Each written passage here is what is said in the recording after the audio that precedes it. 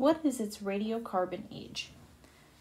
So n is equal to 0.974 n naught, and our half-life